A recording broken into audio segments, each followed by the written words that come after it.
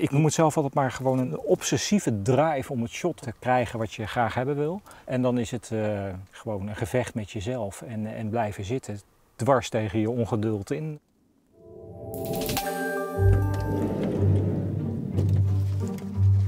Ik ben Kees Verkempen en ik ben de regisseur, de filmmaker van de film Wolf. Het is een mooie film die uitlegt wat de wolf is. Dat doen we aan de hand eh, van het verhaal van een wolfje. Hij heet Scout in de film. Als een moedige jonge wolf in het oosten van Duitsland opgroeit, ontvouwt zich het ware sprookje. Het belangrijkste bij wolven filmen is zorgen dat zij je niet doorhebben en jij hun wel.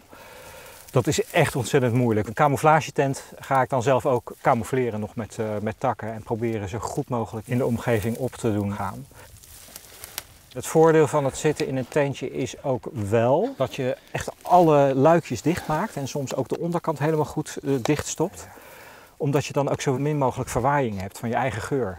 Want wolven nemen natuurlijk waar met hun ogen, maar vooral ook ontzettend goed met hun neus. En dan uh, kan een tentje ook wel helpen om ja, toch iets minder aanwezig te zijn in het veld. Eenmaal volwassen verlaat hij zijn familie. Hij trekt naar het westen op een zeer gevaarlijke, duizend kilometer lange reis. Wat ik heel vaak hoor is, je moet wel heel veel geduld hebben. Maar dit heeft niets meer met geduld te maken. Als je zo in zo'n tentje zit en je zit er de hele dag of dagen aan één, um, dan is het geduld na een dag is echt wel op. Ik noem het zelf altijd maar gewoon een obsessieve drive om het shot te krijgen wat je graag hebben wil. En dan is het uh, gewoon een gevecht met jezelf en, en blijven zitten dwars tegen je ongeduld in. Want het lukt niet altijd, hè? Nou, het, het, het lukt meestal niet. En soms zit je gewoon niet dagen, maar weken ben je, ben je bezig. En dan gebeurt het gewoon niet. En daar word je dan uh, wel eens kriegel van. Er zijn ook, dat, dat is wel echt waar als je dan met, met een paar man in het veld bezig bent dan moet je elkaar af en toe ook wel even aankijken en zeggen van zullen we weer gewoon tegen elkaar gaan praten. In plaats van dat we duidelijk laten blijken dat we het helemaal zat, zat zijn. Maar als je dan in week drie, ik zeg maar even wat, in één, keer, in één keer de wolven hebt en er gebeurt van alles en nog wat, dan ben je dat ook weer gewoon vergeten. Soms is het ook niet handig om eh, naar de tent te gaan en weg te gaan omdat er veel wolvenactiviteit is in het gebied. Dan besluit je gewoon om in het tentje te blijven en soms ook te blijven overnachten. Dan moet je wel gewoon echt de spullen bij je hebben voor een langere periode. En daar hoort dan ook zoiets simpels bij als een emmer. Want uh, uh, met een deksel en wc-papier. Uh, want ook als de nood hoog is, als er wolven zijn, kan jij niet uit. Niet omdat het gevaarlijk is, maar omdat je de wolven niet wil verstoren. Daar komt een klein stukje logistiek bij kijken als je langer in een tent gaat zitten. Naast zo'n tentje zijn er ook andere manieren om wolven te filmen. Soms is het zelfs ook helemaal niet handig om in zo'n tentje te zitten omdat je, eh, nou ja, zoals je dat al ziet, eh, het tentje staat natuurlijk op een vaste plek en je hebt dan ook een vaste richting. En soms dan weet je echt niet waar je het kan verwachten. En dan kan je beter jezelf helemaal camoufleren. Ik begin met de jas aan te doen. En dat is echt fantastisch om dat met weer, dit weer te doen. Maar dat geeft niet. Want zo ging het in de praktijk ook. Dan maakt het ook niet uit of het 30 of 35 graden is. En ook voor dit pak geldt overigens dat je er soms de hele dag in zit. En dan uh, ook blij ben als je het uh, aan het eind van de dag weer uit mag trekken. Nu is het belangrijkste met het camoufleren zijn eigenlijk je handen en je gezicht. Want dat zijn de dingen waarin je het meest weggeeft als je mens bent. En die ook het meeste opvallen in het veld. Met een soort boevenpetje. Daarmee is in ieder geval mijn neus en mijn mond al vertrokken. En dan gaat er een grote pet overheen. Zo. Dan blijven alleen nog de handen over. En daar hebben we natuurlijk ook wat voor, namelijk handschoenen. Nou, zo loop ik er dan bij. Ik denk dat ik met de première iets anders aantrek.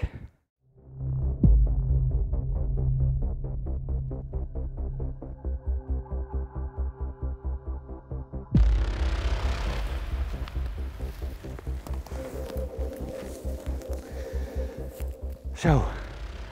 Had je me gezien? Nou, de beste plek om, uh, om jezelf verdekt op te stellen is eigenlijk gewoon uh, tussen de rommel. En met rommel bedoel ik niet uh, rotzooi die in het veld ligt, maar hier zo'n dode omgevallen boom.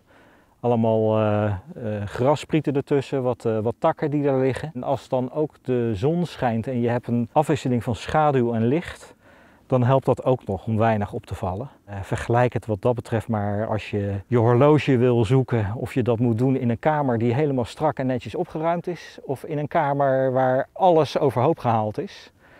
In die laatste zie je hem minder snel liggen. En dat is dus ook als je als mens in het bos ligt en, uh, en de wolven lopen rond. Het is echt heel bijzonder om een, wolf, uh, om, om een wolf te zien. We hebben drie jaar in het veld doorgebracht. We is een kernteam van ik, een maat van mij die ook ecoloog is, Wim Tegels. En een andere filmer, een Duitse jongen, Lennart. Ik denk dat er in die drie jaar vrijwel geen dag is geweest dat niet één van ons in het veld was. Ik heb zelf ongeveer 600 dagen en nachten in het veld doorgebracht.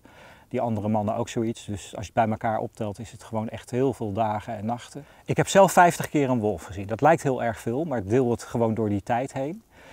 En dan kom je gewoon soms tot weken dat je geen wolf ziet. Terwijl je weet dat je midden tussen de wolven zit. Je moet dus eigenlijk gaande de rit leren denken als een wolf. Dus gewoon echt nadenken van ja, als ik nu wolf was, waar zou ik dan zijn en waarom? En dat kan te maken hebben met bewegingen van mensen of weersomstandigheden. En het is heel veel sporen zoeken. Het is echt heel veel sporen zoeken. Dus Wim die liep gewoon uh, dagelijks zo'n rondes door de gebieden uh, op de plekken waar hij het niet voor de filmers kon verstoren, maar toch informatie kon verzamelen.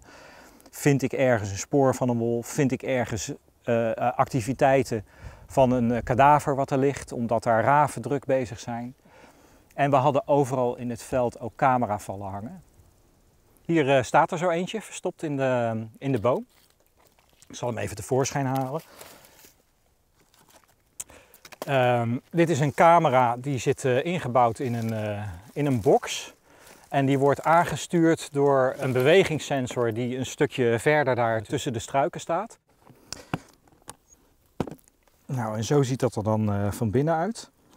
Dit is de elektronica, die wordt aangestuurd door die bewegingssensor die verderop aanstaat. En dan Via een kabeltje loopt dat hier naar dit blok onder de, onder de camera. Nou, die stuurt dan de camera aan. Dus de camera springt aan als, uh, als die, uh, die sensor beweging meet. En als het weer voorbij is, dan gaat de camera in sleepmodus. Dus hij kan gewoon heel lang in het veld staan op deze manier.